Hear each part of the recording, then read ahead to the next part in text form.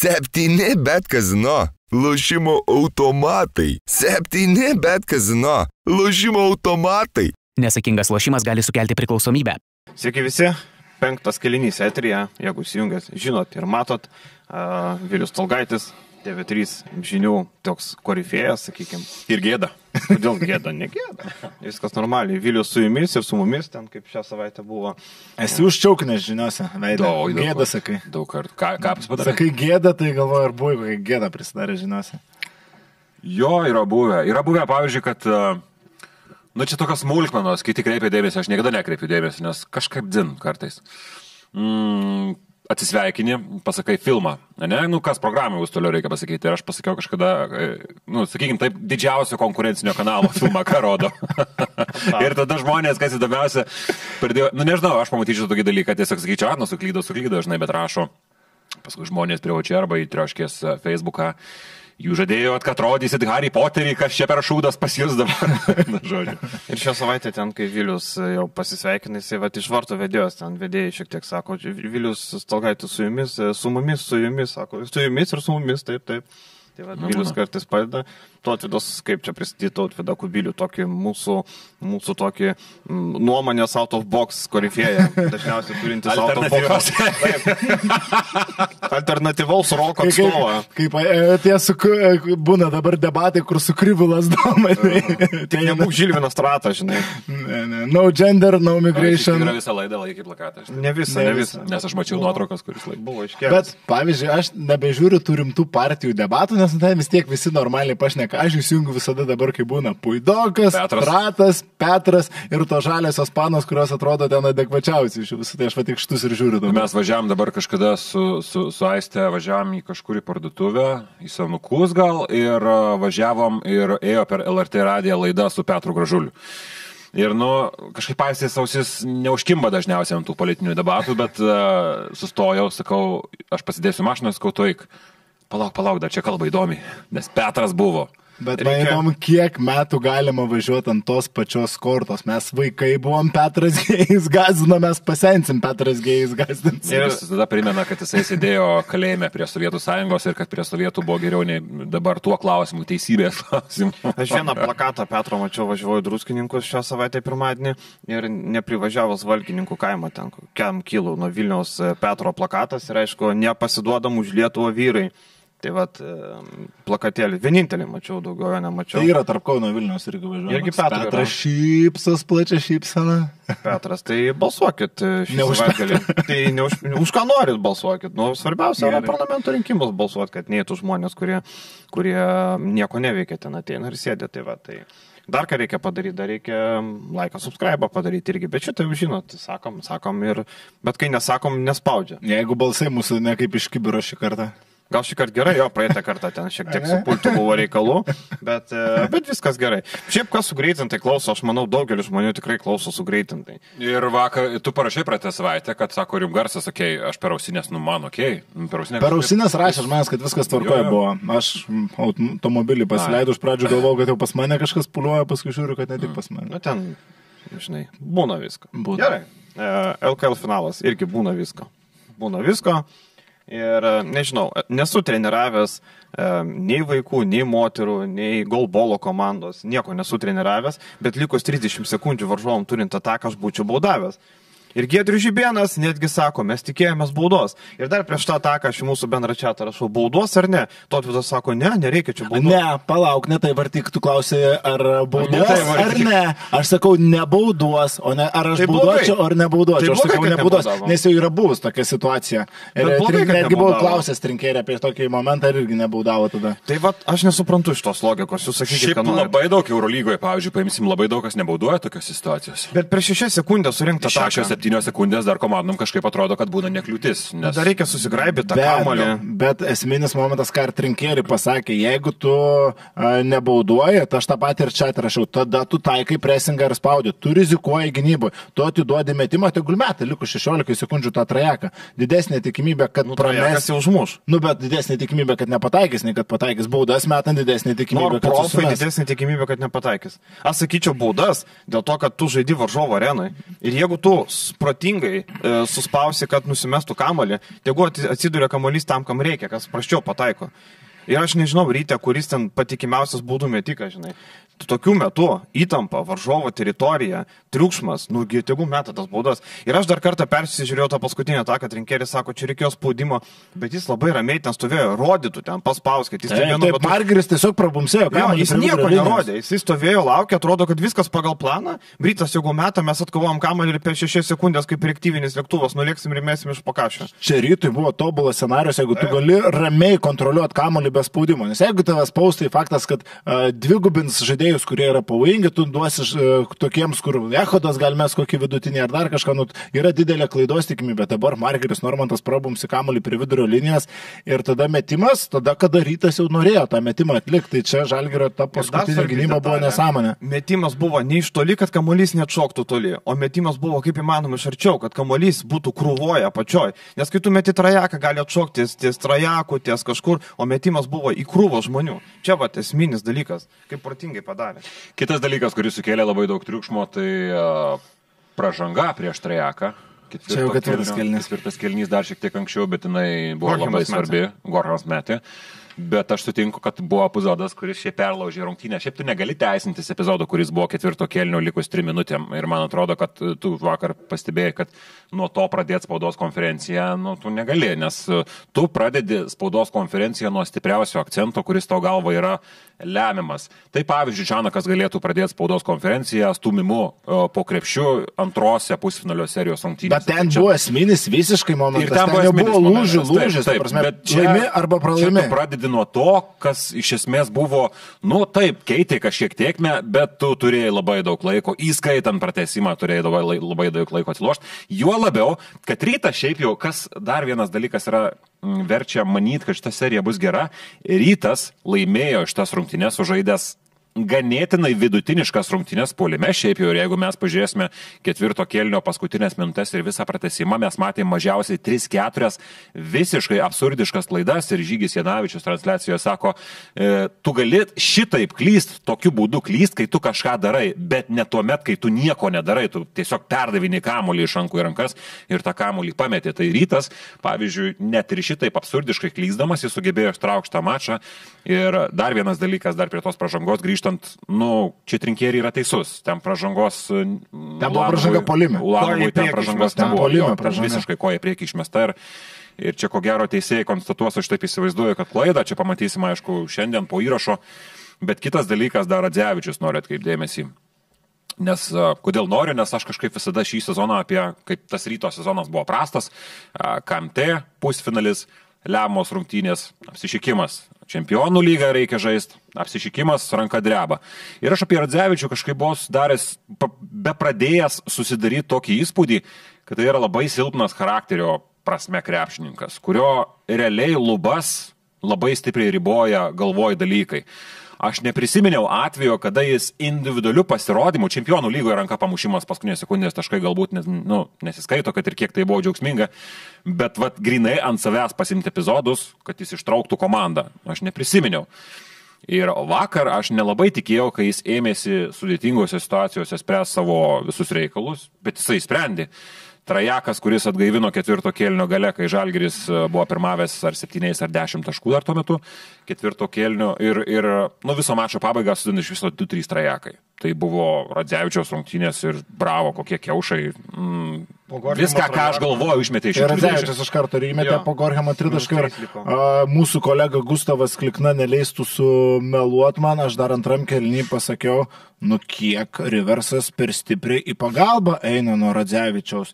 Aš čia vėlgi, čia neįlys ar į komandos a, taktinės schemas, bet Radzevičius šį sezoną tritaškus metą tiesiog fantastiškai. Apie jokias rizikas ten kalbėti negalima. Jau geriau tu atiduok Ehodui metimą iš 3 metrų atstumo negu Radzevičiui laisvą tritaškį. Riversas nuėdinėjo per giliai nuo Rozo. Būtent tas buvo epizodas, kai įvyks Saida numetė kamuolį iš silpnos pusės e, į silpną pusę Margeris, labai geras pasas buvo ir tada jo, būtent Riversas buvo pasislinkęs maždaug. Gal du ar tris kartus šeštas Yes. buvo.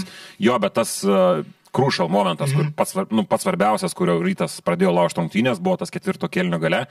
Tai maždaug ties ūsų buvo Riversas, kur žaidėjas, kuris, nu ne tik, tu net nežiūrėk į procentus, bet tai yra karštas šiandien žaidėjas. Tai yra dar vienas red flagas, kad tu negali taip slinktis link kamulio, kur tas linkimas jis nebuvo kažką keičiantis, tu ten nesi labai didelės naudos žaidėjas, bet tu tuo, tuo tarpu prarast Viksaidai gali labai daug. Iš silpnos pusės Riversas nueidavo praktiškai iki baudos aikštelės. Tai prie, pamų, prie mūsų kaip tik vyko ten tas veiksmas, ten aš atkreipiau, net atakose, kur Radzevičius negaudavo kamuolį, atkreipiau dėmesį, Riversas gindavo savo nebaudos aikštelį, Radzevičius stojo laisvas prie tritaško. Tai klausimas tik, kaip greitai nukeliaus kamuolys, kai Radzevičius tris nukeliaudavo. Čia dar vienas komplimentas rytui, kad jie surasdavo būdus, kaip visai produktyviai rinkti taškus, ypatingai iki ketvirto kelnio vidurio, kai Fosteris jau ten pradėjo vienas traukti, ko buvo galbūt šiek tiek mano galva per daug ir rungtynio eigoje, tai Fosteris yra lyderis, bet to vienas prieš vieną žaidimo, mano akimis, buvo šiek tiek per daug, kai e, Gedraitas padarė tikrai nuostabų darbą prieš Fosterį. Čia irgi reikia atkreipdėmėsi, kad rytas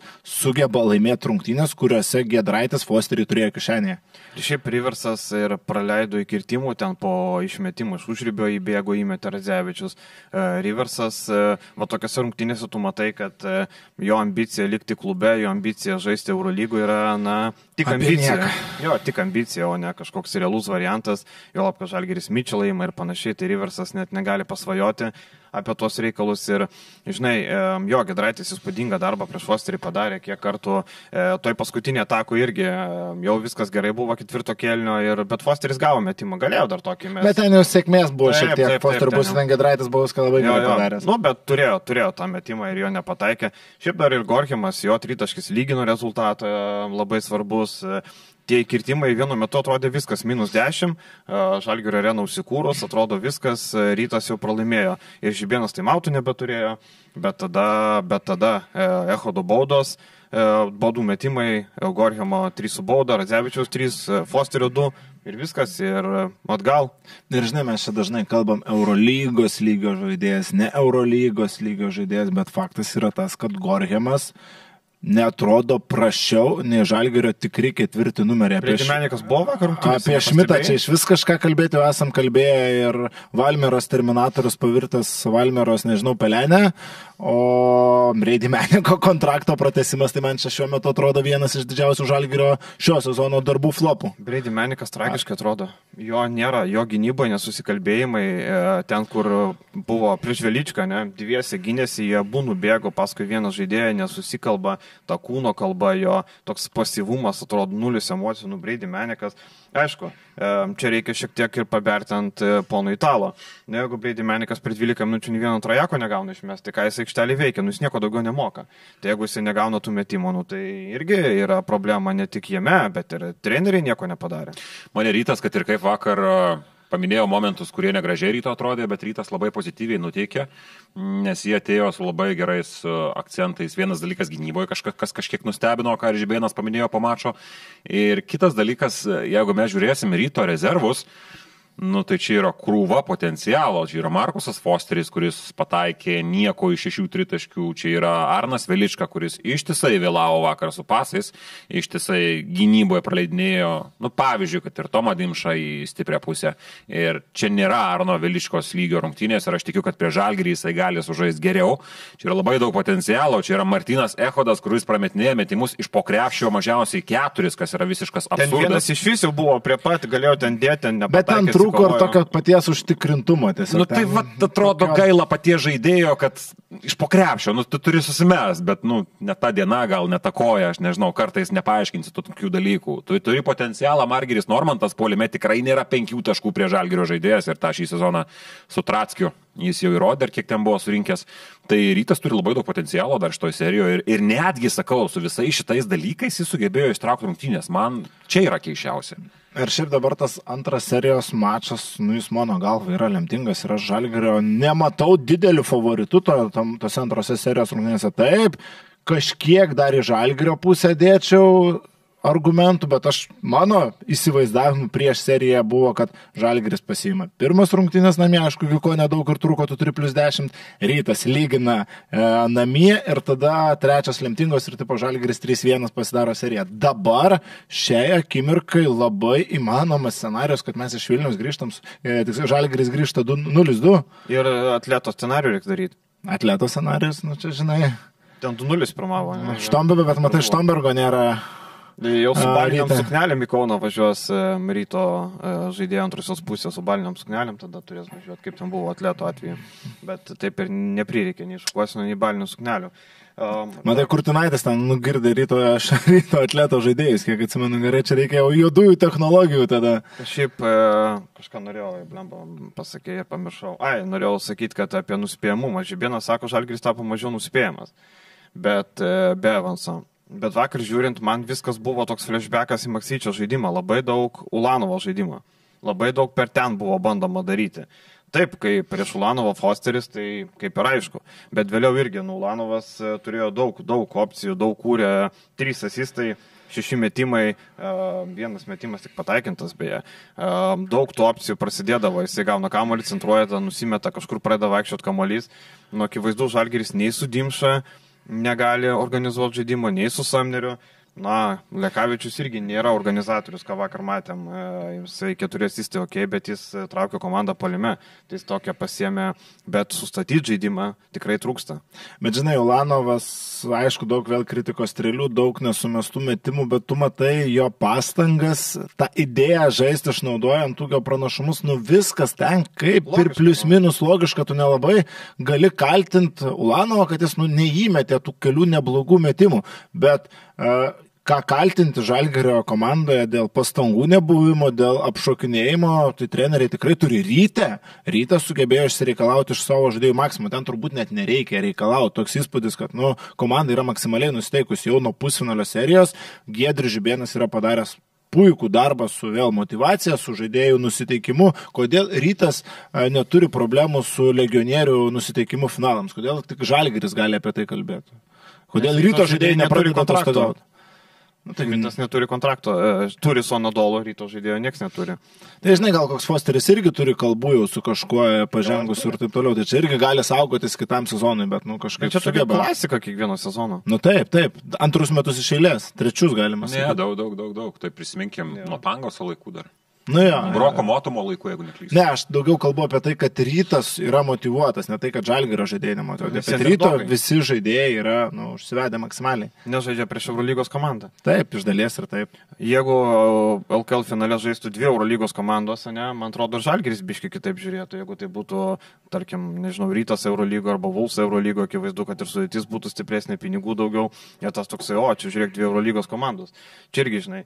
Bet čia, žinai, tai pasižiūri. A, aš tikėjausi iš Andrėjos daugiau, šiaip e, per tas devynias dienas aš tikėjausi, kad, e, kad bus daugiau, bet e, pamatėm daug per Ulanovo žaidimo, kas Maksyčių buvo tokia klasika, kai, kai Evanso nebuvo, atsimenam puikiai. Ir, ir ne tik Evanso nebuvo, buvo ir vėliau su Evansu tas pats. Man atrodo, kad Rolando Šmito įmetimas į startinį, nežinau, ką norėjo papagazdinti varžovus, čia tipo viskas gerai, jam jisai čia žais, čia viskas, bet Šmitas matęs, kad nepasiruošęs, tas tritaškis vienas pramestas, daugiau nieko nebepadarė. Ir šiaip matęs kažkaip, kad kojos tokios gal medinės, kaip ir sakė, bet treniruočio, tai gal toks užrūdyjas, tai nelabai kažką davė ir tų išteklių nu, nelabai daug, nebent tritaškių 4-17. Bet e, gali geriau. Gali, bet aš nežinau, ar čia išteklis kažkoks. Šiaip turėjo e, labai fletinti prabangą žibėnas e, didžiąją mačo dalį ir praktiškai kiek Echodas buvo aikštė, tai tik ir ta pati gynybos sistema laikėsi, nes e, Lekavičius sužaidė antro, antroji pusė iš esmės geras rungtynės, bet pirmoji pusė matom tokių e, paprastų metimų, kuriuos dažniausiai susimeta, jis jų nesusimeta ir Žibėnas galėjo laikytis primityvios gynybos labai didelę mačo dalį. Aš nemačiau šiaip jau labai didelės agresyvios kai kuriuose penkitose gynybos su rytu kalbu apie e, vidurio polėjus, kas iš esmės yra normalu, nes mes matom tą patį visą laiką. Visos komandos Martina Echodą į pikenrolus įtraukinėja, nes žinom, kad 2 prieš 2 kombinacijose Echodas gynasi tikrai labai prastai viso savo karjeros metu. Nėra, kad labai gerai skaito uh, tas situacijas, uh, net ir lyginant su Delorie. Delorie šitos situacijos daug geresnis. Matom vieną labai gerą deflectioną pikenrolo žalgerio metu, kur buvo numuštas kamuolys ir perimtas kamuolys. Bet, sakau, rytas sugebėjo pasinaudota kažkuria prasme gal ir juoda žalgeriai, tada kas dar labai nustebino mane, kad, ne, nenustebino, kaip tik e, taip labai įdomu klausyti, kad rinkėjai atsėdęs kodus spaudos konferencijoje, aš grįšiu namo, pažiūrėsiu rungtynės, nors jau dabar žinau, ką reikia daryti. Toks ramybė buvo prieš antras rungtynės, kad aš jau dabar žinau, ką čia pakeisim ir viskas bus gerai. Bet ramybė buvo ir prieš šitas rungtynės, jis matė žaidėjų degančias akis. Tai šitas tai taip, bet kalbu aš, tų degančių akių kažkaip nemačiau prieš mačo pradžioje. Taip. Ir šiaip e, dešimt metų Žalgeris nėra pralaimėjęs pirmo atkrintamųjų mačo. Pastarą kartą prieš Neptūną tai nutiko čia. Finalo turbūt, ne tik atkrintamųjų. 2.14. Ir dabar įsivaizduokit, kad dabartiniai vaikai nežino, ką reiškia rytas laimintis seriją prieš Kauno Žalgirį. Paskutinį kartą 20 metai. Serija prieš Kauno Žalgirį. Jaunimas nežino, ką tai reiškia. Aišku, visi turim tą Nežino, tai pavyzdį būna. Žalgirio psikakojimo prieš du metus, kai Žalgiris nuo Lietkabelio tiesiog gavo Mm. pusnelį, būtų turbūt ir nuo ryto tais metais pasikrovęs. Tai čia negali sakyti, kad ir pernai, juolab, kad buvo atkakli serija, dėl to yra smagu, mes tiek daug dėjuodavom, kad nebėra intrigos LKL finaluose, kad čia Žalgiris vieną koją apsižaidžia, apsi, uh, apsilošia ir ni- nieko iš to LKL nėra. Prašau, intriga šiemet. Jau dabar galima sakyti maksimali, net ir 3-1 baigtųsi serija. Dėl nelaimingų aplinkybių maksimaliai. Vėlgi, ar viską galima nurašyti dėl Kino Evanso, tu čia į tą pusę, ne? O tai Žalgiris labai gerai atrodė su Kino Evansu prieš Lietkabelį. Nelabai. Ne, bet aš manau, kad prieš šitą būtų kitas vaizdas. Kas būtų, jeigu būtų... Žinom, kad playoffai Žalgirį visą laiką vieną- aprūdija. Išimi vieną žaidėją ir komanda taip subyra. Aš, Aš nemanau, kad jie lengvai net, net jie sutvarkytų. neturi teisės. A- Aš nemanau, kad jie lengvai sutvarkytų rytą tokiu atveju, bet aš manau, kad Žalgeris, mano spėjimas būtų Žalgeris per keturias. Nu, kuris, e, dabar žinai, paprastai žiūrint, kuris ryto žaidėjas dabar į Žalgirį metus finale duotų naudos daug. Nu, kuris? O į Žalgirio gali daug Fosteris, žaidėjų įmesti. Nu, Fosteris, okei. Okay. O į Žalgirio gali daug įmesti ir duos naudos, bet kurį žaidėją gali įmesti, žinai. Tas pas Dimša vakar e, ten tų metimų prametė, bet jeigu įmetus į rytą, nu, Dimša geriau atrodytų ten už, e, nežinau, Veličką, Normantą, Kaulą. turbūt. Nu, tai va, tai, žinai, čia tai pasižiūri sudėtis. Na, aišku, ir biudžetai skiriasi eilę, eilę kartų ten, žinai, tai negali sakyti, kad Evansas tu čia yra esminis faktorius. Žalgiris Didelė- neturi teisės teisintis Kino Evanso, netiktimi čia yra Neturi- vienas neturi, jie žaidėjas. vis tiek yra favoritas, bet aš manau, kad čia yra didžiulė netektis. Mes vakar, paprastas faktas, jie vakar turėjo didžiulių problemų su kamoliu atakų organizatoriumi.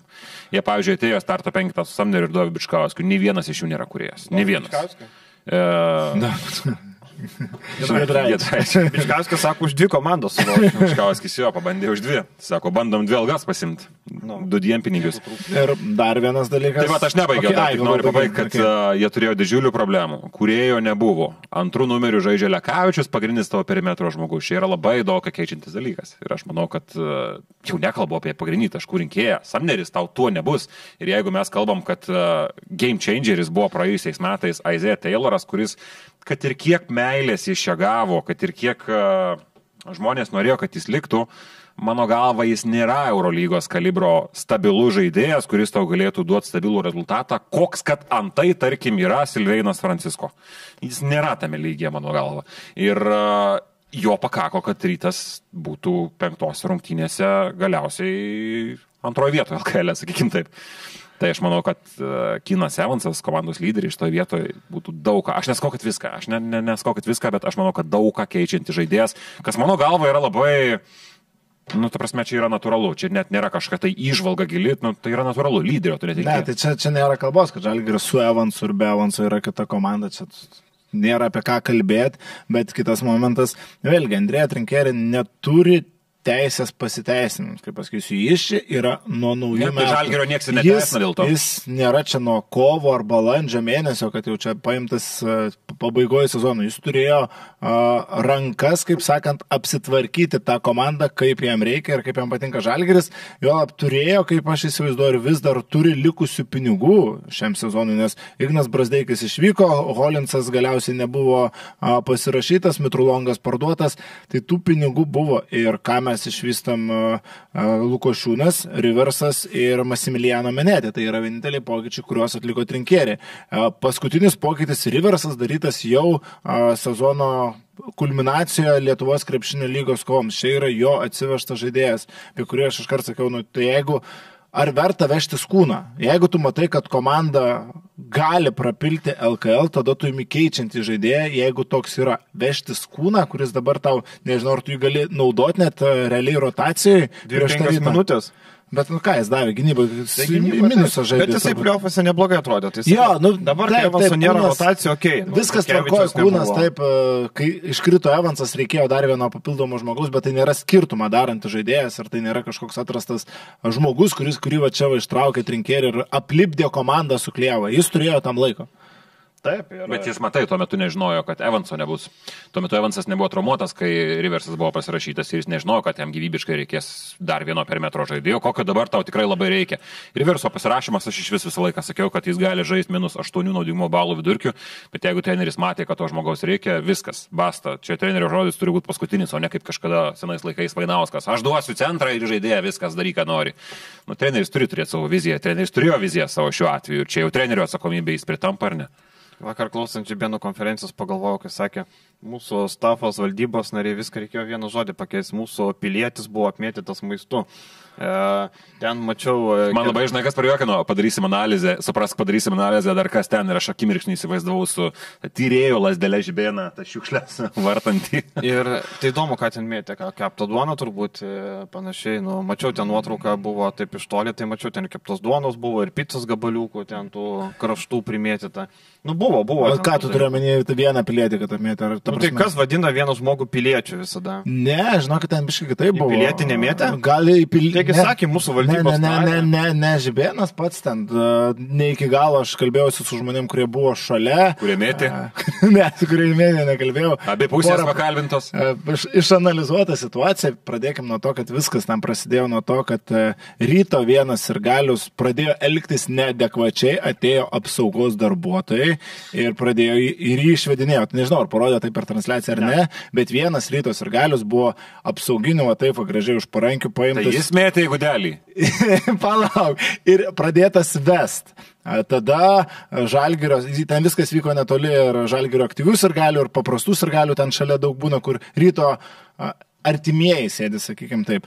Aišku, žalgerio sirgaliai palydėjo tai aplodismentais, atsistoja, mojavimais, mojavimais ir taip toliau. Tai labai nepatiko likusiems rytos ir galiams, kurie pradėjo rodyti vidurinių pirštų gestus. Na, aišku, vidurinių pirštų galbūt jau ir prieš tai ir iš kitos pusės buvo. Ir tada prasidėjo mėtymas ne į gudelį, ne į dar kažką, o būtent į tuos ir galius ir laistymas jų. Viskas įvyko tarp Žalgirio paprastų sirgalių ir ryto paprastų sirgalių, kurie sėdėjo už uh, ryto atsarginių žaidėjų solelio. Ten ir vieno krepšininko sužadėtinė ir žmona, bijau sumaluoti, labai intensyviai sudalyvavo vidurinių pirštų kombinacijam. Ir kas kliuvo ryto atstafui, ryto ten suolui, tai buvo jau tik praš, pro šalį skriejantis daiktai. Ten viskas vyko tarp sirgalių. Na, matai, kad. Bet kliuvo, ar jie matai? Kliuvo. Kliuvo. Um, trys... Bet apsauga faktas, kad turėjo užtikrinti geriau čia darbą, čia vėlgi. Jeigu jau pradedi vedinėti vieną žmogų, tai kažkaip natūralu, kad išvedant žmogų kils kažkoks samišis tarp likusių ir galių. Galim gali. tikėtis, kad e, bus įvardinta, kas yra Kaunas kaip Zavaskas, kad parodys, kad mes pirmie ir tada sakys, kad Kaunas yra toks ir toks. Gali būti Iš ko iš žibėno? Ne, ne iš Žibėnas kauniečių. kažko, iš kažko ten, žinai, gal. Atsimenam, kuom baigėsi pastarėjai tokie maisto mėtymai ir vidurinių pirštų rodymai. Baigėsi skandalingom frazėm. Fosteris sako, parodysiu pirštelius, kai laimėsim titulą. Nu, tai Fosteris ruošia žmogus, pirštelius. tas žmogus, kuris tai pasakė, jau ilsisi. Tai, Jo. nu, Jau. trečia vieta dar irgi vieta. Dar ketvirta vieta irgi vieta. E, Paskutinis gal e, trys komentatoriai. E, Trys komentatoriai prasidėjus finalų serijai. e, Ir dėl trečios, ir vakar. Dėl trečios negirdėjau, buvau arenui, vakar girdėjau. Sudėtinga turbūt komentuoti trysę, va jūs komentuojat, galit pasakyti, kad trysę sudėtinga. Vakar labai daug e, skundų, bent trys žmonės man parašė, sako, um, nepatinka, nėra, nėra aiškiai, kas kalba, nėra aiškiai, kas papildo, nėra emocijų. Kai trys komentuoja, turbūt labai sunku įsijausti, žinai, kur būtų ten Grajauskas. Ne, mm, tiesiog tu turi žinoti savo roles. Yra vaidmenys. Bet čia tam, tam trys žmonės. dalykas. Yra sudėtingas dalykas, bet nu, būtų gerai žinoti roles ir kas tu esi toj transliacijoje. Ir uh, negali vieną kartą play by play tas komentuoja, kitą kartą tas žmogus, kuris turėtų komentuoti play by play, jis tiesiog tyli Dvi minutės žaidybinio kas, laiko. sorry, pertrauksiu, kas vakar komentavo dar aš? Šležas Janavičius, Janavičius. Zenčiauskas. Man tai šiaip labai įdomu. Aš, aš tikiu, kad masėms nelabai, nes aš kažkaip, vat, žiniuosi dirbdamas, aš kažkaip po, esu įpratęs, man daug kas įdomu, bet aš tuo pačiu esu įpratęs galvoti, kas žmonėms gali būti įdomu. E, Ar žiūrės tai masės, nes tu darai masėm, krepšinis yra masių produktas, čia yra pramoga didžioji. Klausimas, kiek yra įdomu, man žygis labai patinka, blemba, kaip jisai masto, kaip jisai, koks jo protas aštrus, e, kaip jisai situacijas. skaito. Getsas labai gerai. E, Kas? Getsas irgi gerai. Ir Gecevičius Iš labai gerai. kas man irgi čia kaip, kaip, kaip žmogus labai patinka, ką jisai daro tiek podcastuose, tiek, e, tiek transliacijose. Tai viskas ir su žygiu šiuo atveju apie žygį kalbam labai gerai, viskas tvarkoja, išležas yra senas laiko patikrintas variantas kažkoks. O, o, o, bet, nu, sakau, reikia iš to situacijų žinot vaidmenis. Gal nėra kas pasako, aš nežinau, nes e, turi būti viskas, kaip pirštų įkalta, play by play komentatorius ir viskas. Uh, turi būti antras žmogus ir turi žmogus, kur būt, kuris papildo. Šiuo atveju, ko gero, tai yra žygio Janavičiaus rolė. Bet kai niekas tau nepasako, iš kur tu žmogaus žinos. Ir, nu šiaip, aš, ne, kadangi žiūrėjau gyvai, negirdėjau transliacijos, tai negaliu kažkaip komentuoti, bet, na, Lukas, jeigu neklystu, prieš sezoną ir sezono metu buvo statomas daugiau kaip antras komentatorius, kaip ekspertas papildantis ir šalia Taip. Dabar jis tada ta- tampa šitam trijui. Ne, tai žinai, play by play. Tai Teisėjus iš vaikai, komentatorius išsivaikai dirbti nėra ką. vėlgi yra man ir tada Lukas gaunasi play by play komentatorius. Nu, tai va, tas gal, tas gal ir užkliuvo žmonėms, kad pritruko tokio kaip Grajauskas, kuris duotų emocijos, duotų gero vaibo, nes nu, krepšinis vis tiek yra apie emociją, yra- reikia tos analizės, reikia faktas, kad paaiškint, kas vyksta, bet tarkim, jau ten ketvirtas kelnys, lemiami metimai, nu, tai reikia ir to pakelto balso tembro, ir to sakinio mandresnio kokio. Vis tiek to, manau, žmonėms tikrai reikia. O dėl komentavimo trys dar pabaigsiu. Tai Nu čia labai sudėtingas dalykas. Mums siūlė moterų lygą komentuoti 3 TV ši, per TV 6. Nu sakau, baigit, mes nei vienas kartu tarpusavį nesam dirbę, sakau, galim pasikeisti dar kažką, bet, nu sakau, blogai bus 3, ta prasme, nu tai reikia maksimalaus susidirbimo, kaip Vilius ir sako, žinot, rolės vaidmenis. Atrodo, pasodinsim tris žmonės, kurie kartu nedirbo ir čia jie suvaibins iš karto, kartu viskas gausis gerai. Tai čia nu, labai labai drasus sprendimas. Dėl to paskutinis komentavimo. Tarkim, aš nežinau, žinai, vyksta LKL finalas, Tautvydas Švežas vis bando paklausti Janavičiaus ir vis akcentuoti Vovorą. Va, Vovoras akcentuodavo šituos pamušimus kamulio. Man atrodo, kad neįdomu niekam, ką akcentavo Vovoras, jo nėra čia, nėra toj serijai ir mes girdėjom. Nežinau, kiek kartų esat girdėję, kad Vovoras akcentuoja pamušimus. Aš turbūt daugiau kartų girdėjau negu savo vardą iš jūsų lūpų. Bet čia yra gal e, vidaus informacija. Ne? Tai kad daug kartų buvo kalbėta Kas apie kiekvieną kas, transliaciją. neakcent, kas neakcentuoja Čia kamulio buvo, pamušimo? čia buvo pri, pristatyta kaip didžiausia naujovė, Vovaras akcentuoja. Ir tai vėl, po to žygį, nu čia pas jūs, Neptūnas turėjo 8 pergalių seriją. Man atrodo visiems vienodai. Kiek turėjo Neptūnas pergalių, ką darė Vovaras, vyksta finalas, pataiko Razevičius, tritaškių tuo metu šneka apie Vovaro pamušimus. Man atrodo, kad e, tri, ir taip sunku, ir dar kai yra toks pašalinis triukšmas, kuris nu, nereikalingas apie Vovarą, dar pradėkit šnekėti, kad Jasilionis ten nesuvaldė tabo. Ar dar Ir- kažkokie? Aš tai mano mintis tik tai, kad turi pasakyti žmogų, turi būti profesionalas organizacijos viduje. Aš turiu omeny, kad visi... Uh, Dalelių, kad turi ateiti ir kurie komentavo rungtynės, visi yra krepšinio. Nu, šiaip jau, sutikit, krepšinio protai. Nu. Tai yra, pavyzdžiui, Janavičius, Šležas, nu, tai yra nu, žmonės labai gerai supranta. Ir tikrai gali komentuoti. Ir, ir, ir jie, aš žygis, man sakau, man tai labai patinka. Aš esu klausausi. pernai girdėjęs žygis, Aš vienas. aš ir dabar mėgavausi. Tiesiog žmogaus galbūt neįveda į tą, nu, jis nėra, jis nežino, iš kur tau kas, nu, tai tu tave turi įvesti, aš teisiu ir kažkur į kitą sritį, mane įveskit, prašau. E, Aš performinsiu, duosiu kažkokį galbūt rezultatą. Ir, ir davė, man viskas su juo vakar patiko iš esmės. Bet uh, turi būti organizacijos viduje, uh, prasme, žmogus, kuris pasakytų, kad žiūrėkit, jūs daro taip, taip, taip, e, tu esi tas, tu esi tas, tu esi anas. Ir viskas bus gerai. Jo, ir kartais atrodo, kad jie, žinai, kuklinasi, atrodo, pasako du sakinius, nu gal man užteks, nes čia gal jau reikia pasakyti tam arba kažkam, žinai.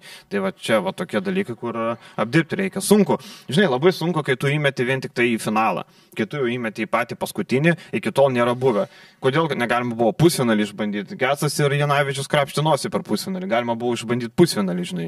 Tai galima buvo anksčiau išbandyti, tada tas produktas ant finalo būtų geresnis. Dabar tu įmeti pirmą kartą tuos tris žmonės ir tu, žinai, bandai gauti geriausią geriausią produktą. Ir nu aš atvirai pasakysiu, aš nežinau, kas įvyko tarp LKL ar Vaido Čiaponio, bet Vaidas Čiaponis yra vis dar vienas geriausių komentatorių Lietuvoje, ypatingai kalbant apie Lietuvos krepšinio lygą. Ir nuimti jį nuo komentavimo turi būti labai svarios priežastys, nes tai yra LKL veidas. Bet mes koment- visi žinom tas Nu, priežastis. okei, okay, nu, bet nežinom, kiek tai buvo stipriai, kiek tai, nu, ta prasme, čia yra plėtkai. Plėtkų mes neišnešinėjom kažkokiu, nes tai nėra patvirtinta. O ne? Ne, Nu, esame ta, nu, prasme, ne nu, bet netokių. Ta prasme, Ne. Come on.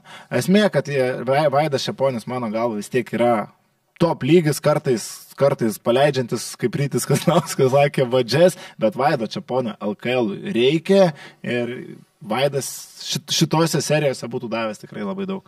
O aš tai va, tokiais atvejais labiausiai Karolio Tiškevičius pasilgau. Iškės to labiau. Man atrodo, jisai tokiuose trijulėse paimtų už kiaušų ir šležą ir Janavičių ir padarytų taip, kaip reikia. Reikia tiesiog vieno komentatoriaus tokio, kuris, jeigu tu jau esi pagrindinis, tai tu paimi, jeigu tau netėjo iš viršaus ten Liumienė, Milašius ar Leliuga nepasakė, kaip komentuoti, tada vienas turi paimti lyderystę ir pasakyti, darom taip ir taip. Charakterio, šitos situacijos reikia taip, charakterio, kuris tai tu pasakytų, kad bu- bus taip, taip, taip, o ne.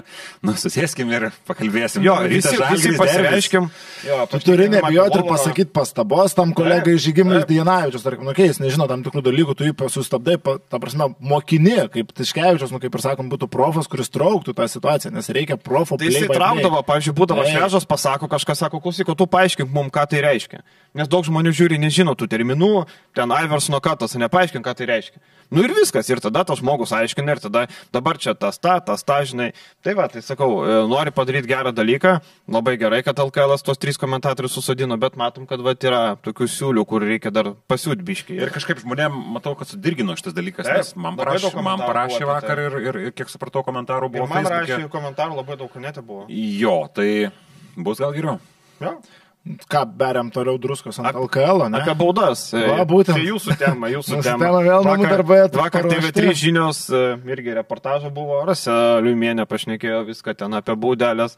Nu, dėstykit, kas vyksta, nes aš visai ne, ne temoje šitoje. Ar Rasalimienė kalbėjo, tada tu pradėjai kažką šitą negirdėjau. E, Žodžiu, pradėjo, viskas prasidėjo nuo to, kad be tribūna, čia senas, senas dalykas, kad už kiek mus baudžia, čia visi, kaip pasaulis, visi žino šitą dalyką, bet be tribūna išstojo po prieš pat finalo seriją dėl tų vėliavų, kad rytas vėl gavo baudą už tai, ar įspėjimą ten kažkas tokio.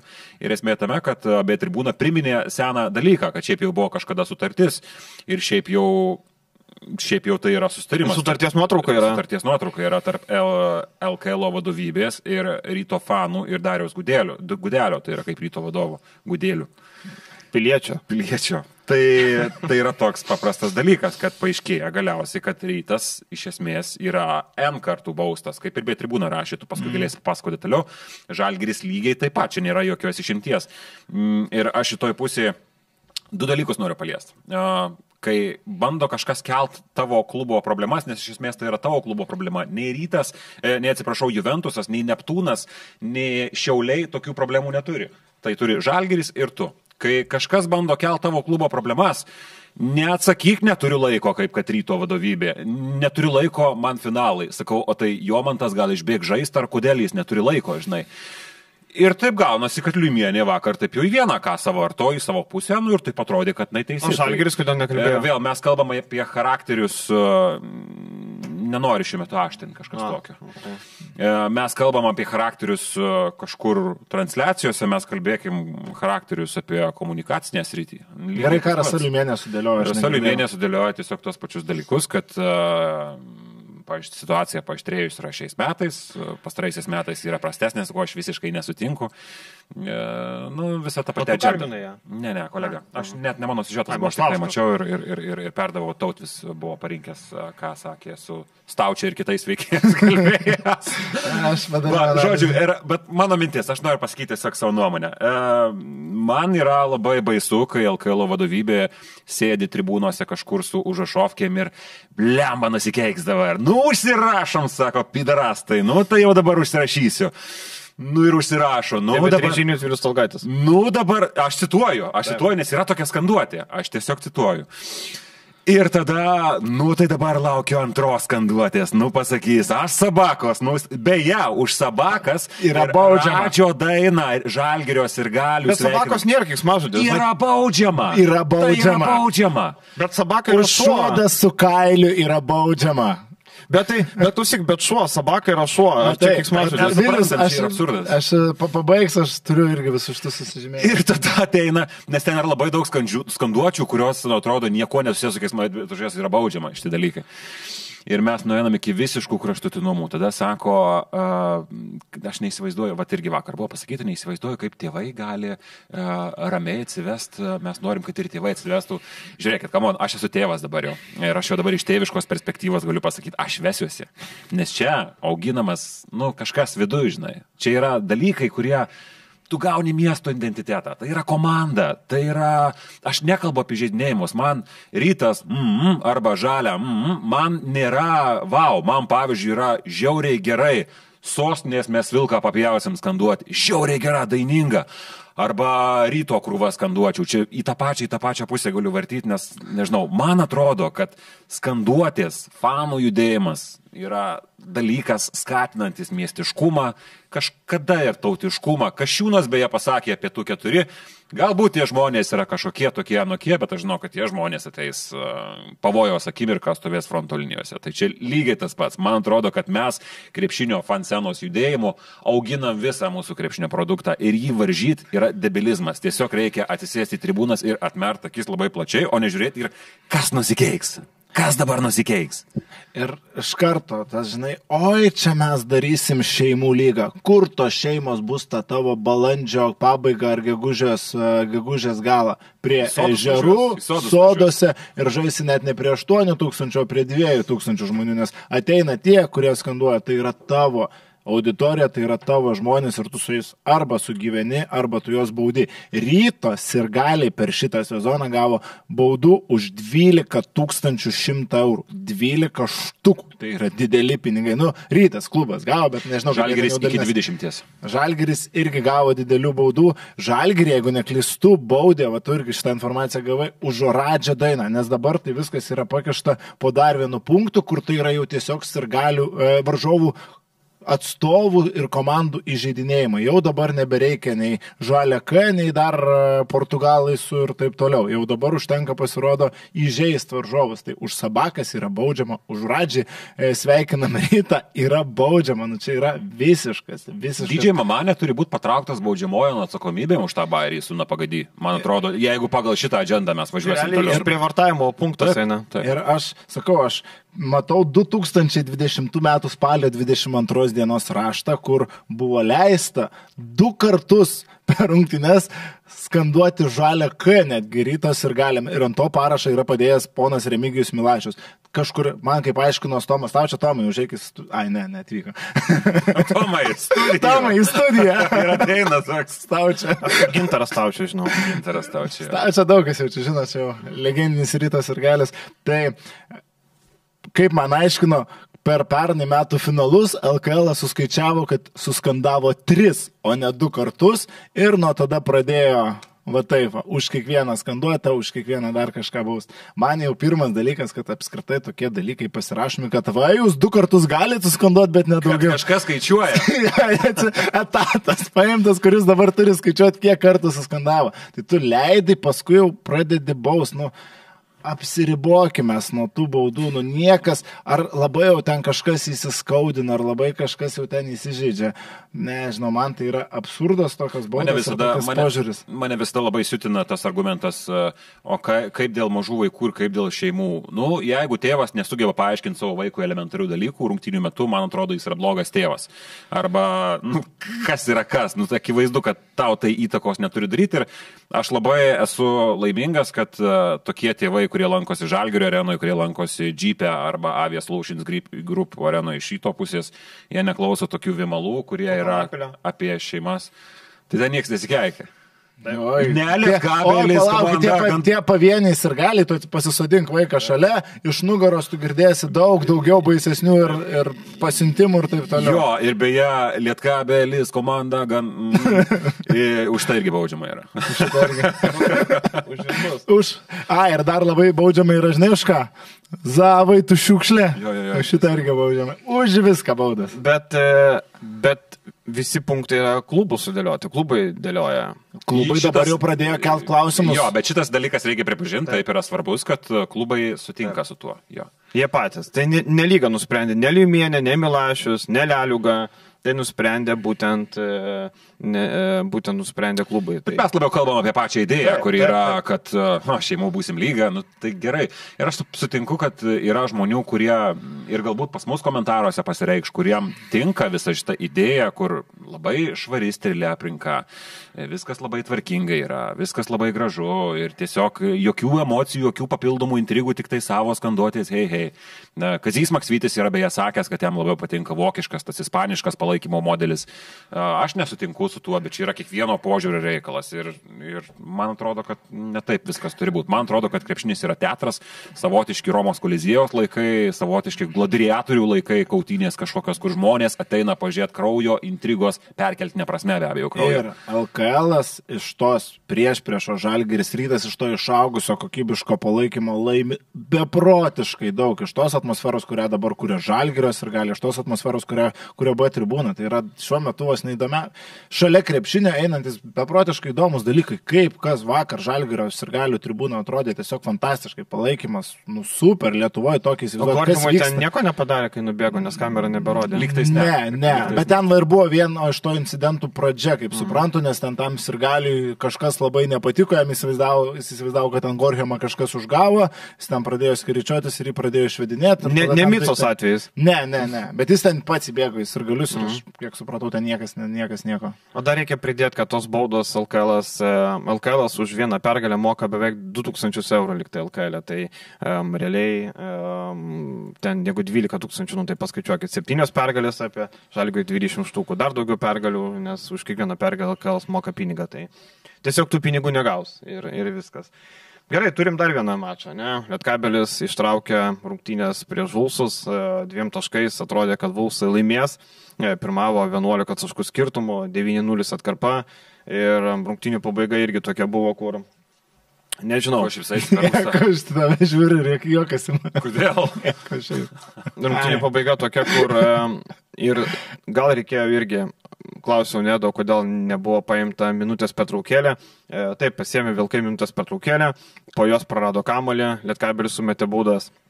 Turėjau dar vieną minutės pertraukėlį, likus 11 sekundžių, nutarė neimti jos, um, neva žaidėjai buvo, žinojo, ką reikia daryti, bet uh, tu sutaupytum laiko, nes tu periniai kitą aikštės pusę.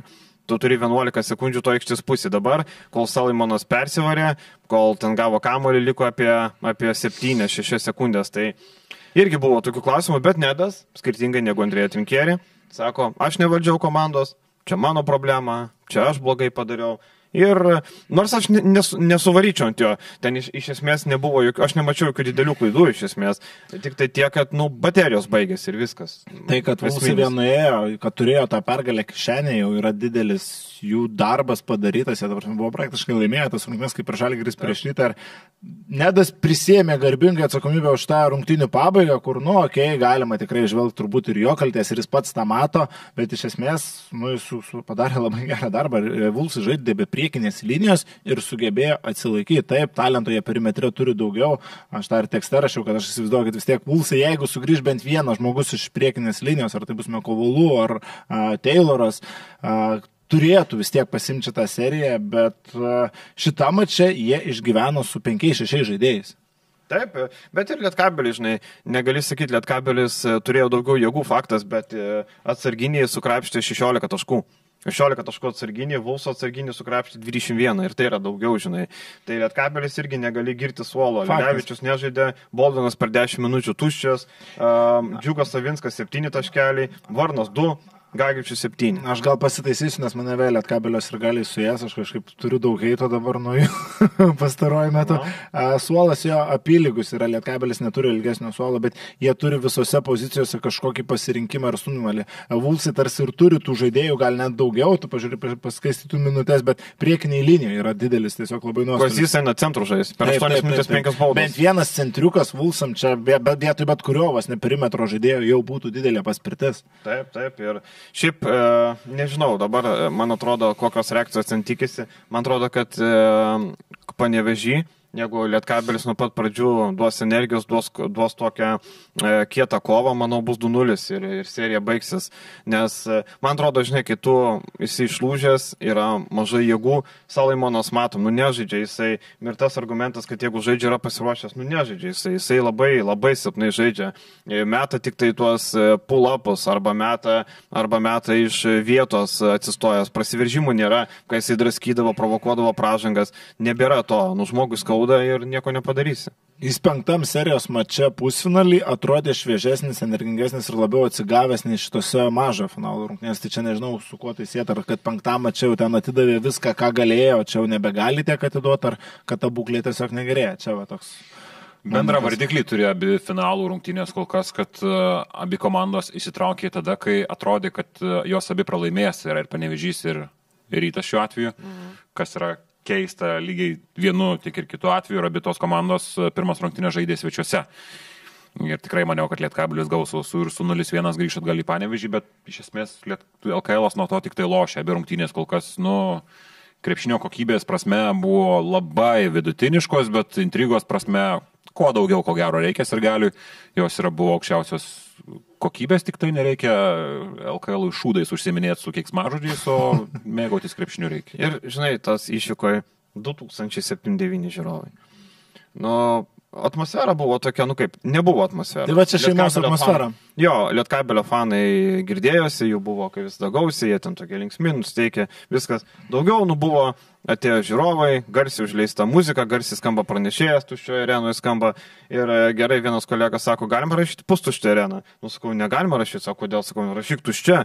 Nes jeigu iš dešimt Užpilnė. štukų, nes iš dešimt štukų, nu, pustuštė būtų 5-4. tuštė. Jo, tai 2000 tai rašyk tuščia, bus arčiau tiesos negu, negu uh, apytuštė, ne? Tai, žinai, sakau, rašyk, kad tuščia arena, nu, nes taip ir buvo, žinai.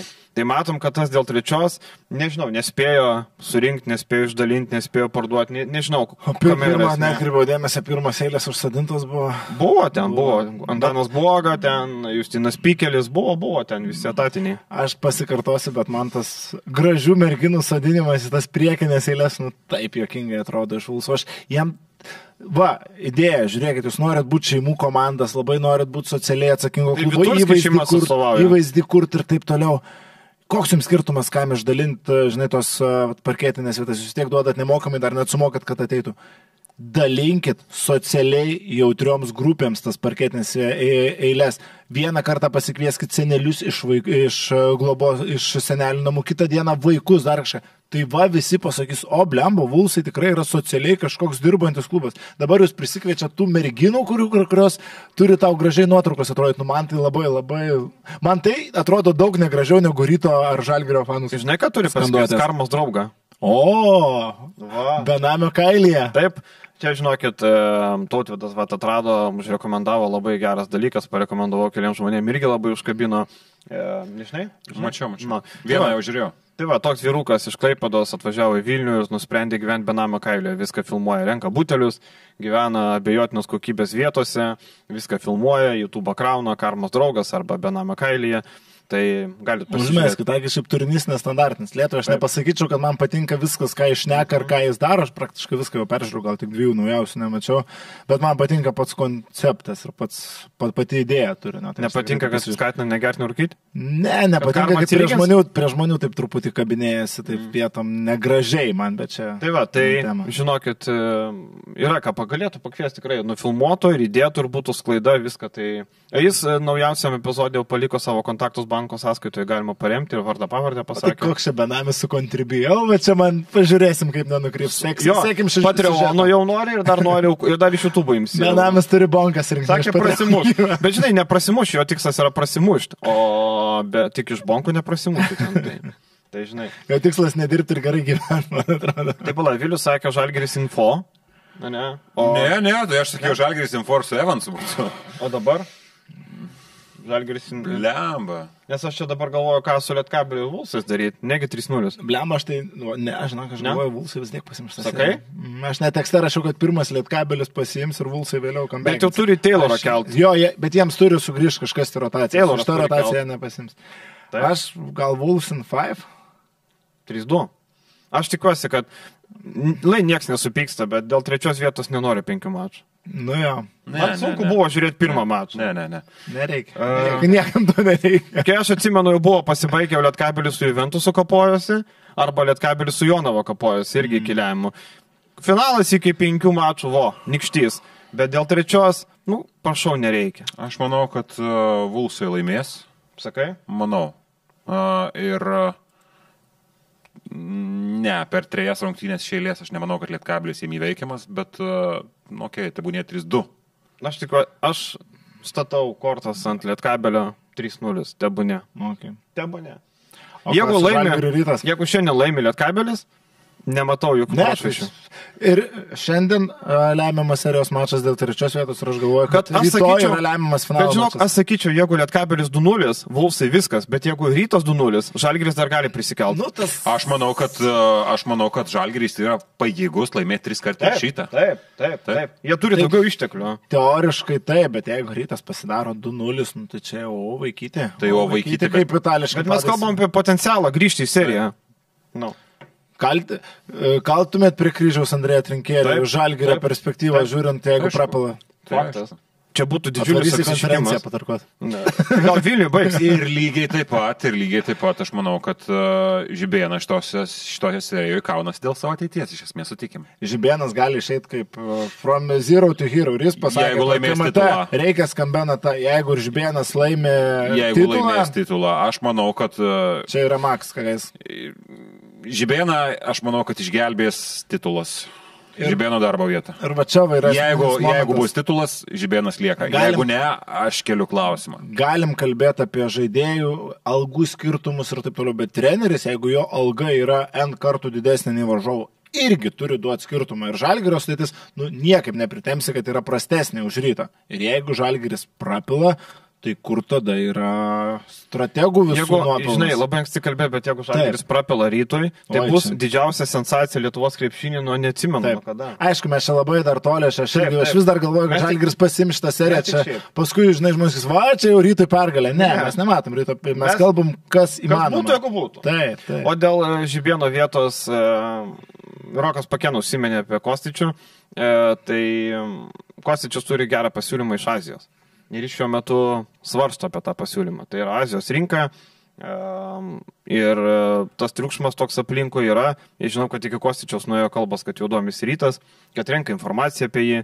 Ir tai kažkiek įstabdo nuo e, sprendimo imti ar neimti Aziją. Tai labai įdomu, kas ten vyksta. Ir e, kad tik tai nebūtų, kad Gudelis juokiasi, na aišku, juokiasi iš to pausto, nes ten Maksytis yra paminėtas.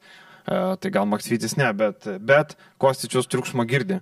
Ir, bet gal išvažiuosi į Aziją, aš tai imčiau Aziją, negu bandyčiau laukti, kol čia uh, įsispręs, žinai, arba neįsispręs. Niekad negali būti tikras, kaip čia viskas baigsis. Tai rinkti informaciją nereiškia, kad pasirašo. Čia tik tai reikia tokį pasakyti dalyką, kad rinkti informaciją nėra lygų pasirašo sutartį. Tai tik tai tiek. O sutartį pasirašė Rokas Gedraitis. Rokas Gedraitis pasirašė ir tapo čempionu jau. Ten belekas. Be- Belekas. Vadinu, ten LKL baudų tai pridalinti. Ten tai belekas. Aš nežinau ten. Bet aš nesuprantu partizanų logikos. Jūs pirmavot 11 taškų skirtumų, trečias kelinys. e, Fanai pradeda mėti daiktus, jūs raminat, nenusako viskas, išvarom fanus. Tada partizanas sako, mes be fanų nežaisim, eikit vilniop. Ir jie neina žais. Tu turi kišenį lygų rezultatą ir tu neini žais.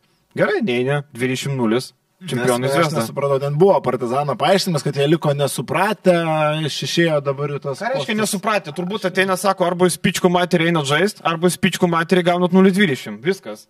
Ko, kas neaišku? Kažkoks kosmosėlis man čia. Belekas. Belekas, 0,20. Aišku, ir galiu irgi. Va, va čia va yra daiktų mėtymas, čia kas žalį gerio arenai, tai čia šiaudai, ten alumą plėjo, gal pizzas kokį gabaliuką dar numetė, o ten tai daiktai skrėja. Taip, ten ir batus metė, mačiau. Man tai kažkaip gaila būtų, blemba, šitiek investicijų yra padėta, šitie gerų naujokų, turi tokį trenerį, partizanas ir šitaip nuleidžiamas yra sezonas. Mm, nežinau, viską prapilojo vietiniam fronte, man kažkaip labai Tai keista. Eurolyga nieko pralaimėjo. nepasiekė. Tai Eurolygoje jo yra, bet aš kalbu apie Adriją ir apie Serbo lyga. Serbų lygą, žinai, pas juos laimėti prieš Zvezdą yra jau geriau pats neturėsiu, bet jam irgi neduosiu, žinai. Nu, ten yra didžiuliai prieš priešai ir, ir, ir, ir jie viską prapila. Tai šiaip labai skausmingas sezonas partizanų yra.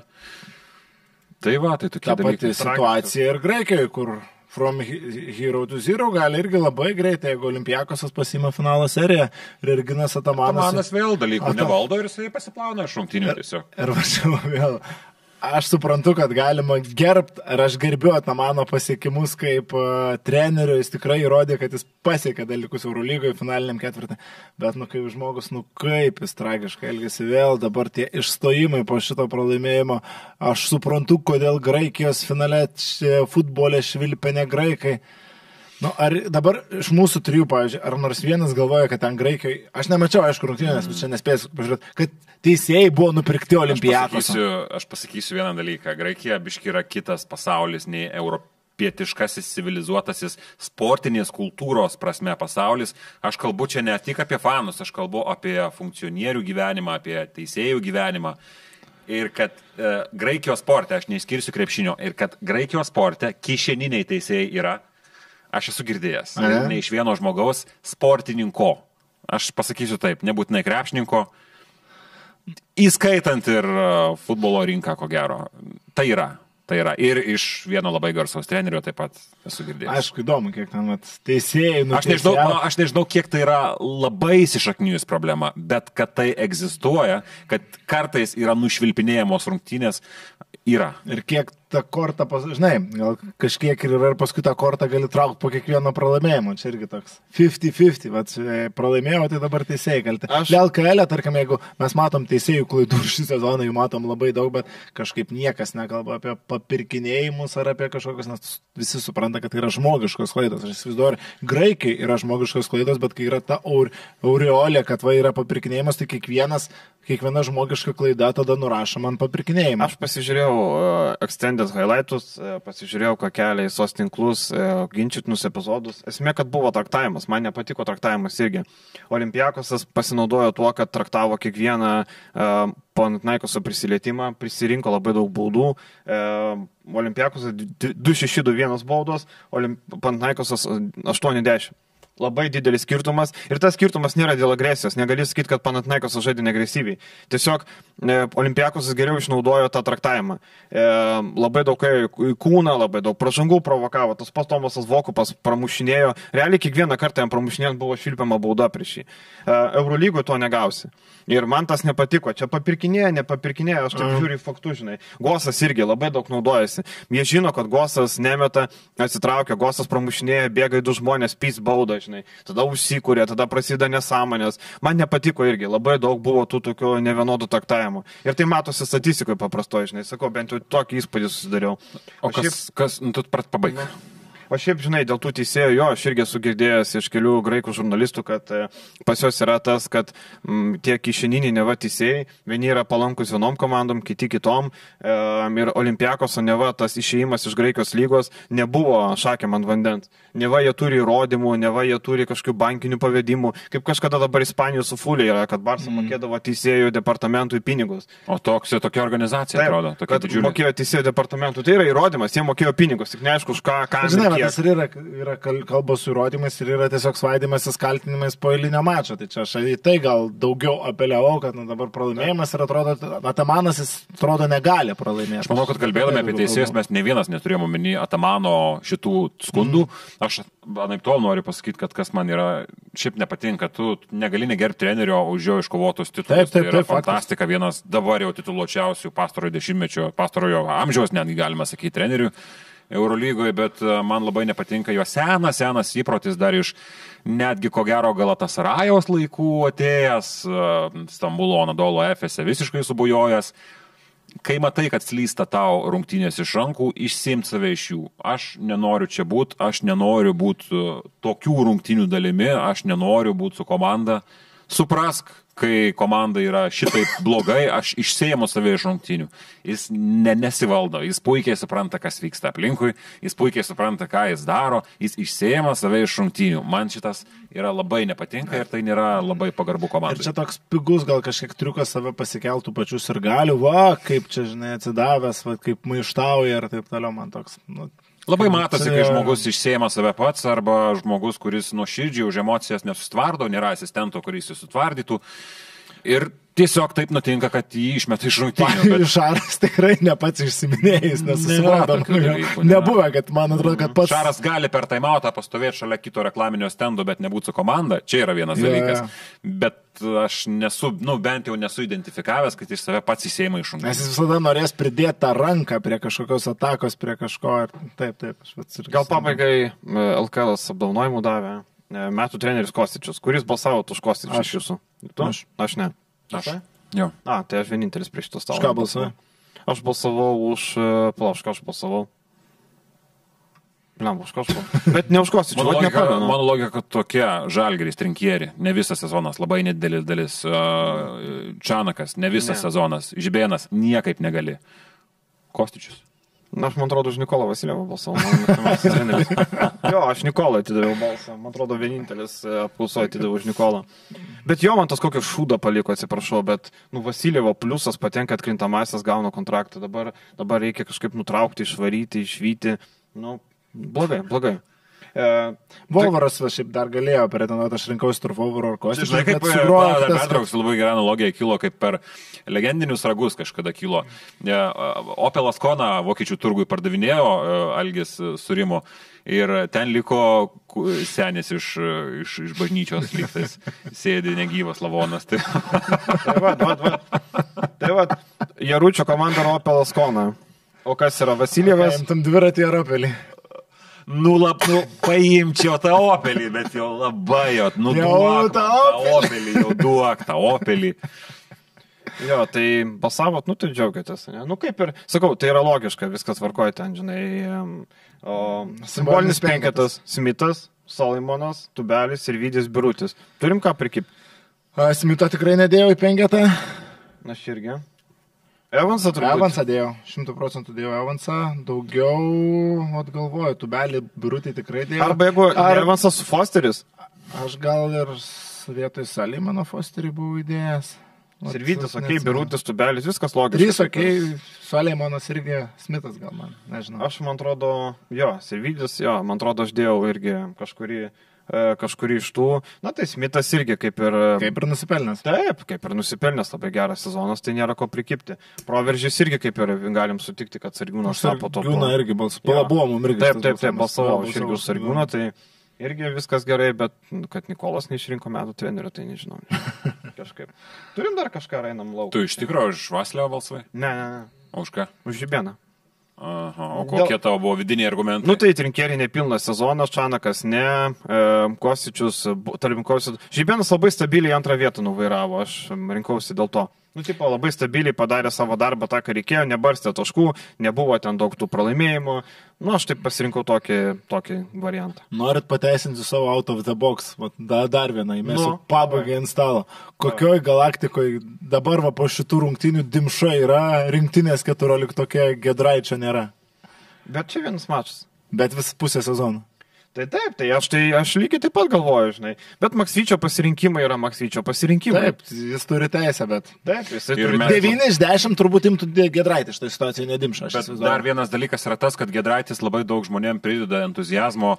E, gynyboje darbą ne visi galbūt ir pamato kitą dieną, bet e, labai žmonėms daug prideda entuzijazmo, kad jis sužaidė 16, jeigu neklystų taškų rungtynės. Labai geras rungtynės polime, susimesdamas ir dalį tritaškių, viskas buvo labai... bloką Ir blokas, pas, nu, viskas buvo labai aukštam lygiai. Bet uh, jis nėra polimo žaidėjas Žalgerio komandoje ir mes, man atrodo, kad grįšim kažkiek į normalybę, nes, nu, jo darbas daugiau vis tiek yra kitoje aikštės pusėje. Jo kažkiek metimų skaičius ir minučių skaičius prie Evanso traumos išauga, mes kažkiek pamatėm galbūt e, virš normos ribų tas rungtynės, aš linkiu, kad jis taip ir toliau žaistų žalgerį, bet aš manau, kad kažkiek mes esam dabar pagauti emocijos po vieno mačo. Bet aš daugiau apeliuoju ne vien į šitas rungtynės, apskritai pusę metų, kur Dimša, nu tikrai yra pasėdęs. Jis vienoks buvo prie Kazio, bet čia irgi kiek tai turi įtakos, kad vieni žaidėjai prie Kazio atrodo geriau nei prie, atrodė geriau nei prie dabar Andrė ir kad kiti prie Andrė atrodo geriau nei prie Kazio. Kiek tai yra trenerio įtaka, kiek tai pačių žaidėjų. Čia va kitas klausimas. Galbūt Dimša prie Kazio vėl žais kaip Žalgirio sezono startą. Prisiminkim, kaip Tomas Dimša atrodė Eurolygoje per pirmus 5-6 mačius. Visi kalbėjom, kad to tu dėvi. Normanto nėra rinktinė. Ne. Ne. ne. Iš ryto, iš ryto Vulsų, Lietkabelio. Lietkabelio Sirvidis iš Vulsų. ir- Bet jau galim sakyti Ryto. Jo. Nes jeigu aš įsivaizduoju, kad jeigu e, Normantas neturi sveikatos problemų, jeigu viskas jam yra tvarkoje ir jeigu jis yra rinktinės sąrašuose ir jeigu rytas laimi ant tos geros emocijos, ant tos geros formos, Normantas ko gero vėl dvyliktukė rinktinės, aš taip įsivaizduočiau. Bet žinok, man atrodo, turi problemų. Sakė, Tai aš tą ir kalbu, bet neįmanoma, kad jis žaistų rinktinė, tiesiog jis per skausmus dabar žaidžia. Tai Tai po vakar Radzevičius buvo keliama klausimų, kodėl ne Radzevičių įma, o Butkevičių kodėl įma, irgi buvo tas klausimas, žinai. Po vieno mačo čia, žinai, Na, čia labai, labai greitai, Taip, žinai, taip, galima taip, taip, persi, taip, tokie, persidėlioti. Aš tiesiog Gedraičio, nes Gedrai, dėl Gedraičio tai tikrai buvo labai daug klausimų keliama jau iškart paskelbus 14, kodėl Dovio nėra nei tarp kandidatų, nei rezerviniai, aišku, kaip ir kalbėjom, rezerviniai, nu, kas, kodėl Gedraitis turi rezervinę važiuoti, taip. žaidėjas. O paskutinis mano klausimas Viliui. Jeigu Mursija laimė Ispaniją, didesnė sensacija už rytą prie Žalgirį? didesnė. Didesnė, tai prasme, čia wow, ką padarė. Ir šiaip vat, labai trumpai, nes e, maža komanda, nėra gal daug interesantų. Šiaip Latvijam didžiulis dalykas, trys Latvijai vienoje komandoje ir, ir kita komanda išeina į NDS finalą. Latvijam iš vis, šiaip žiauriai laukiu ir NBA finalo serijos. Šią naktį prasideda per GAU3, vat, e, aš tiesiogiai jungsiuosi. Nežinau, europietiško krepšinio fanui, kas gali būti geriau. Tai nutiko geriausias dalykas, kas gali būti, sakau, mum europiečiam. Ir bet kalbant apie Mursiją, Mursija turi žaidžia be priekinės linijos, nugalėjo Valenciją, nugalėjo Malagą, geriausią reguliarkės komandą FIBA čempionų lygos nugalėtoja ir išeina dabar į finalą prieš Šelą. Aš norėjau kažkiek gal Malagos labiau, kad nes tikėjausi, kad Malaga mestų iššūkį, ką pamatėm reguliarkiai, labiau realų būtų didesnė intriga. Matau, dabar vis tik didesnės intrigos nebus, nes Mursija, kad ir kokia pelenės istorija, bet jie žaidžia su milžiniškom problemom. Bet čia sensacija, čia yra didžiulis dalykas. Tai centrus lyva lošia. Slyva, Musadienė, visi šitie įtarimieji veikėjai, nes e, Radovičius žaidžia vieną koją, net nežaidė ketvirtose rungtynėse, mm. Todorovičius e, iš vis nežaidžia ir Birganderis, kuris nėra centras, bet jis irgi nežaidžia. Nu, kaip Berganderis net centras. Birganderis ketvirtas labiau gal. Nu, Numeris. toks, kad metimą turi, tai taip. jo, jo. Bet kūnas didelis, galėtų dar. Nu. Realas turi easy pabaigti. Nėra apie ką kalbėti. Blemba, prieš tokią Mursija Mursiją. 3-0 pasėmė. Tai Tai čia irgi 3-0 bus. manau, kad. Mursija, blemba. Suvalgys, suvalgys, nebus didelės intrigos. Labai jo labiau, kad ir e, Mursija kažkiek gal jau išsikvėpė. O man vienam biškiau atsibodo, kad Latvija mus pradėjo per visus galus lenkto RNB čempioną turės, 3 prieš 3 auksas, pasaulio čempionatą sutvarkė, jau man iškerisint pradėjo. Nu, ką jie ten, kad ACB finalė kur? Ne, aš turiu omeny, aš apie Porzingį. Tas šiuos komentatorius vėl paskui jis. Tas jis vis viena mes jam akis negalėsim. Mums mes jau prie roi praeisim kaip nusižeminę tokie. Taip, taip. Are you ready, guys? Jūs sak Latvian dick, sako. Mes su Viliam su Ryčiu tokie sėdėm. Gal? Čia dėl penktos vietos, sakom, kaip ir ne finalas. Du kūrucai, žinai.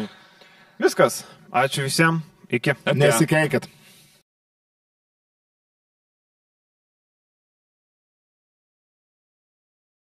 7 bet kazino, lošimo automatai, 7 bet kazino, lošimo automatai. Nesakingas lošimas gali sukelti priklausomybę.